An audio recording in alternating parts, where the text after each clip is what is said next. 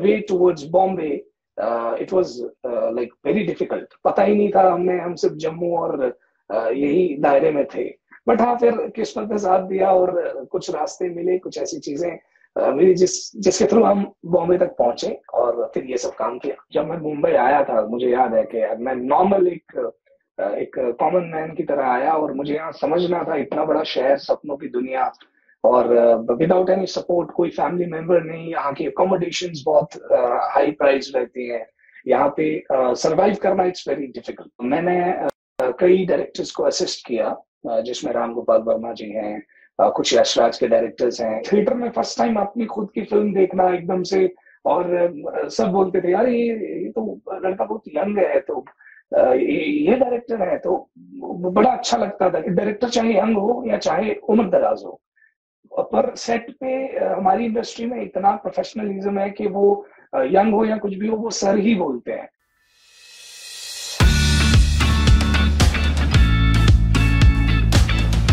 Hello sir so first of all welcome to this Instagram live session sir thank you so much thank you so much Yes. Uh, तो sir जिस तरह से आपकी introduction में मैंने अभी आपके लिए बताया कि बहुत अच्छी डायरेक्शन और प्रोडक्शन आपकी तरफ़ से हुई है और बॉलीवुड को बहुत सारी uh, जो मूवीज़ हैं वो आपने दी है कई सारी म्यूजिकल वीडियोस में आपने काम किया है तो मैं जानना चाहूँगी कि ये जो आपका सफ़र था ये जो आपकी जर्नी रही इसकी तरफ़ जो इंटरेस्ट था इनिशियल इंटरेस्ट था वो किस तरह से बना आपका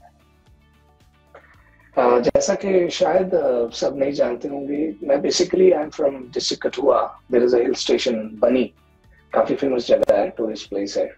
सो so, वहीं से बिलोंग करता हूँ और मुझे याद है कि आई थिंक जब हम एट स्टैंडर्ड और नाइन्थ स्टैंडर्ड कर रहे थे सो so, बनी में कोई भी जब भी फिफ्टीन अगस्त होता है या ट्वेंटी सिक्स जैन का जो भी फ़ंक्शन होता है तो वहाँ पे बहुत सी परफॉर्मेंस मीन्स बनी is famous for art basically तो वहाँ पहाड़ी कल्चर और उस तरह के हमारा डोगरी कल्चर ये बड़ा एनहेंस्ड वे में वहाँ लोग करते हैं।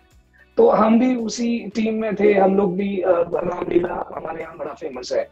तो आर्ट वाली चीज़ थी वो बचपन से ही थी तो उसे फ़र्स्ट टाइम जब मैंने उसको एग्जीक्यूट किया था तो I I directed one play in my school जिसे हमने फिफ्टीन अगस्त को परफॉर्म किया था। सो so, uh, वहाँ से मुझे ऐसा फील हुआ कि शायद मैं भी थोड़ा आर्टिस्टिक वे में कहीं मेरा इंटरेस्ट उस तरफ़ है। तो uh, वो मेरी फ़र्स्ट इंस्पिरेशन थी। Uh, वहाँ जो हमारे सीनियर्स थे उनको देखना रामलीला देखना वहाँ की परफॉर्मेंस देखना। तो बनी में ऐसे बड़े दिग्गज तरह के आर्टिस्ट हैं।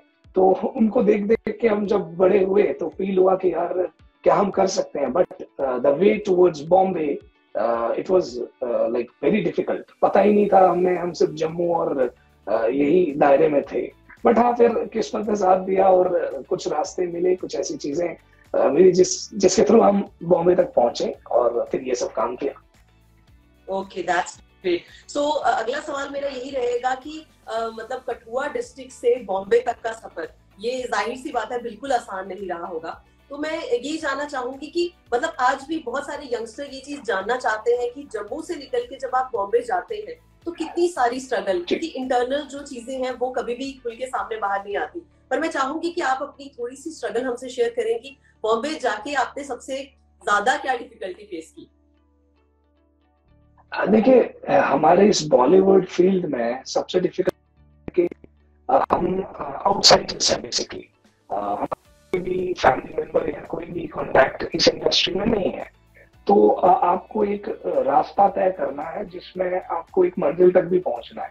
तो आपके पास कुछ नहीं है। मतलब जब मैं मुंबई आया था, मुझे याद है कि मैं नॉर्मल एक एक कॉमन मैन की तरह आया और मुझे यहाँ समझना था, इतना बड़ा शहर, सपनों की दुनिया और विदाउट एनी सपोर्ट कोई फैमिली मेंबर नहीं, यहाँ की अकोमोडेशन बहुत हाई प्राइस रहती हैं। यहाँ पे सर्वाइव करना इट्स वेरी डिफ़िकल्ट तो ज़ाहिर सी बात है, बहुत मुश्किलें आई क्योंकि कई साल तो लग गए हमें कॉन्टेक्ट बनाने में। पहले तो खुद को पहचानने में लग गए कि मैं इस फ़ील्ड में कर क्या सकता हूँ। तो जो एक राइटिंग और डायरेक्शन ये सब जो दिमाग में था, इसको कैसे एग्जीक्यूट करना है, कैसे इसको फ्लोर पे लाना है तो उसके लिए कोशिश की, करते रहे। बट किस्मत अच्छी थी कि बहुत अच्छे लोगों ने पे सपोर्ट किया। और फिर धीरे धीरे धीरे धीरे चीज़ें इजी होती गई और धीरे धीरे फिर मकान मिलने लगा Okay. So it was tough. That's great. It was So- actually tough. It was tough. Okay, okay. So पहला जब आपने डायरेक्शन अपनी दी आपने पहली जो प्रोडक्शन की थी उसका आपका एक्सपीरियंस कैसा था और जब वो रिलीज़ हुई सो so उसे देखने के बाद कैसा महसूस हुआ आपको मुझे याद है कि जब मैं बॉम्बे मुझे लगता है मैं 2007 में मुंबई आया था और 2007 से लेकर के 2012 तक मैंने कई डायरेक्टर्स को असिस्ट किया जिसमें राम गोपाल वर्मा जी हैं कुछ यशराज के डायरेक्टर्स हैं एक मराठी एक्टर डायरेक्टर थे रमेश देव जी। तो लास्ट कुछ प्रोजेक्ट मैंने रमेश देव सर के साथ किया था एज एसोसिएट तो अ, मुझे वहाँ बहुत सीखने मिला। और बहुत कुछ सीखा। तो मुझे रमेश जो सर ही हैं जो अब इस दुनिया में नहीं है उनका दो साल पहले फ़ेमस एक्टर इन सिक्सटीज और नाइन्टीज के बीच के सबसे फ़ेमस एक्टर थे।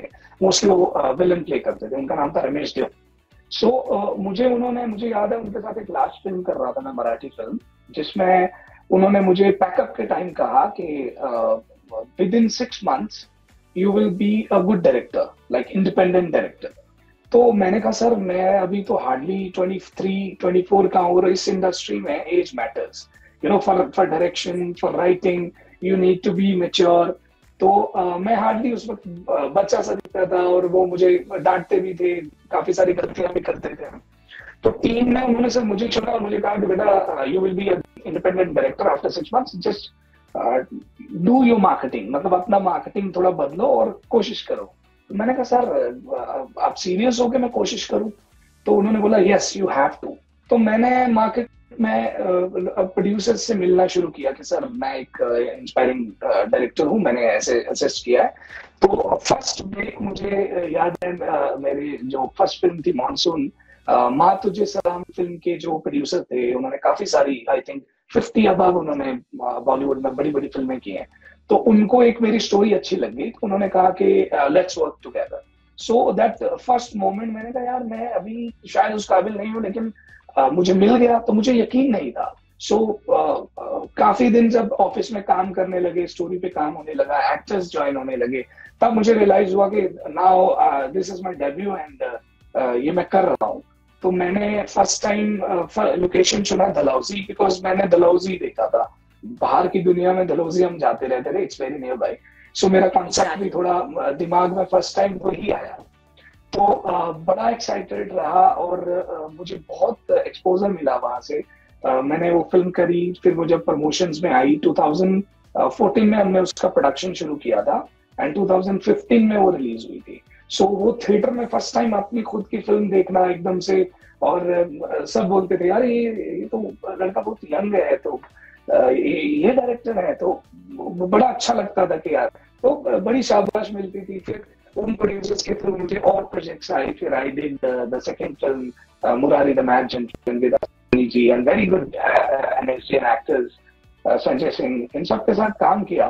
तो फिर तो कारवा चलता गया, सीखते सीखते सीखते, फिर अब अब तो एक मेच्योर सी एज में है और काम चल रहा है और कर रहे हैं। Exactly that's that's great so मेरा एक सवाल इसमें होगा, क्योंकि हमें भी सुनने को ये मिलता है कि डायरेक्टर्स जो होते हैं, वो एक्टर्स को डांटते बहुत हैं। क्या आपकी डायरेक्शन में ऐसा कभी हुआ? क्योंकि आपकी एक एज छोटी एज से आपने डायरेक्शन स्टार्ट की। और एक एज डायरेक्टर में और एक छोटी एज के डायरेक्टर में थोड़ा सा फ़र्क होता है। तो क्या आप भी मतलब यंग एज में जब डायरेक्टर बने तो अपने एक्टर्स को या जो भी परफॉर्म करते थे, उनको आपसे डांट पड़ती थी? जी uh, मैंने अब तक जितने भी एक्टर्स के साथ काम किया उसमें मोस्टली uh, सब सीनियर एक्टर्स ही रहे हैं। असरानी जी नरेंद्र झा संजय सिंह अपने मॉनसून में शावर अली सृष्टि शर्मा। तो ये जितने भी बॉलीवुड के एक्टर्स हैं ना इनके अंदर मैं आपको एक चीज़ बताता हूँ कि डायरेक्टर चाहे यंग हो या चाहे उम्र दराज हो पर सेट पे हमारी इंडस्ट्री में इतना प्रोफेशनलिज्म है कि वो यंग हो या कुछ भी हो, वो सर ही बोलते हैं। तो पहले तो वो सर थोड़ा सा डाइजेस्ट नहीं होता था, क्योंकि ये उस ग्लैमर फ़ील्ड है और वहाँ पे हर तरीके से लोग एक दूसरे से बात करते हैं। लेकिन मुझे अब तक हर किसी ने सर बोला तो वो जब सर बोलते थे तो वैसे तो देखो, हर एक्टर के अंदर अपना एक आर्ट होता है तो कभी कभार ज़रूरत नहीं पड़ती है। लेकिन कई बार होता है कि कुछ चीज़ें समझ नहीं आ रही है, कुछ न्यू एक्टर्स ज्वाइन होते हैं। डेफिनेटली जो न्यू एक्टर्स होते हैं तो उनके लिए अपने कैप्टन से सुन लेना या डांट खा लेना that is very common in industry तो हाँ कई बार मैंने डांटा है कई बार लोगों को डांट पड़ी है। Uh, लेकिन हाँ सीनियर एक्टर्स तो वन टेक आर्टिस्ट होते हैं तो डेफिनेटली yes. उल्टा हमारी uh, जो हमने जो उन्हें पोर्ट्रे करने के लिए जो कैरेक्टर दिया है उसमें वो मेरी मेरी थॉट प्रोसेस से थोड़े हटके और ज़्यादा ही उन्होंने पोर्ट्रे किया। तो कभी ऐसी नौबत आई नहीं लेकिन हाँ जो नए एक्टर्स आते हैं तो वहाँ हो जाता है थोड़ा बहुत ओके दैट्स ग्रेट सो आने वाले समय में सर आपकी uh, हमें कौन कौन सा काम जो है वो आपका देखने को मिलेगा? क्योंकि वेब सीरीज़ पे भी आप काम कर रहे हैं। तो आने वाले टाइम पे कौन कौन सी चीज़ें हमें देखने को मिल सकती हैं? अभी आ, हम लोग कुछ आ, आ, एक फ़िल्म कर रहे हैं जिसका नाम है टॉपर एंड ये एजुकेशन बेस्ड एक थ्रिलिंग मिस्ट्री पे फ़िल्म है। तो उसका काम चल रहा है और मेरे अपकमिंग लिस्ट में जो कुछ जे के बेस्ड मैंने कुछ प्रोजेक्ट्स अभी कंप्लीट किए हैं जिसमें हमारी एक वेब सीरीज़ ओडी आ रही है एक एंजॉय मैक्स ओटीटी है उसके ऊपर। एंड uh, एक फ़िल्म अबीर आ रही है जो कि मैंने भद्रवाह में शूट की है। And it's love story based on footballer and एक हमारी पंजाबी फ़िल्म आ रही है जिसका नाम है Harf. So it's a very beautiful love story based on some little glimpse of terrorism and एक ड्रामा है.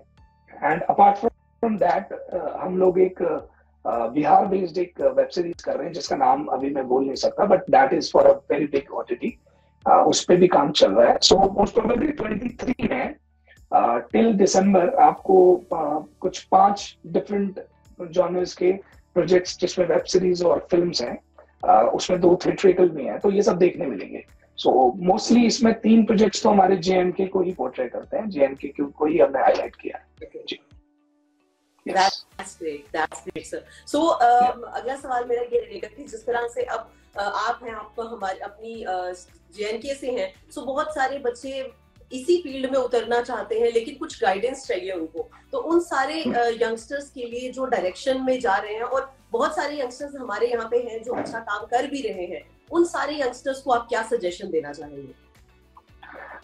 uh, सबसे पहले तो मैं ये कहूँगा कि आई एम वेरी सरप्राइज़ कि पिछले मैंने जब जे के में पिछले साल दो हज़ार बाईस से मैंने दो तीन प्रोजेक्ट्स बैक टू बैक करता गया। कश्मीर गया भद्रवा गया बनी गया फिर जम्मू सिटी गया जहाँ जहाँ मैंने प्रोजेक्ट्स किए। तो ज़ाहिर सी बात है वहाँ बहुत से लोकल एक्टर्स जुड़े। क्योंकि अब हमारे गवर्नमेंट ने फ़िल्म पॉलिसी भी स्टार्ट की है।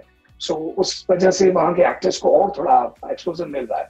तो मैं सरप्राइज़ था कि वहाँ बड़े अच्छे अच्छे आर्टिस्ट हैं। वैसे तो आप देख ही सकते हैं बॉलीवुड में या सीरियल इंडस्ट्री में टीवी में बहुत से जे के, के कितने एक्टर्स हैं जो लीड कैरेक्टर्स कर रहे हैं।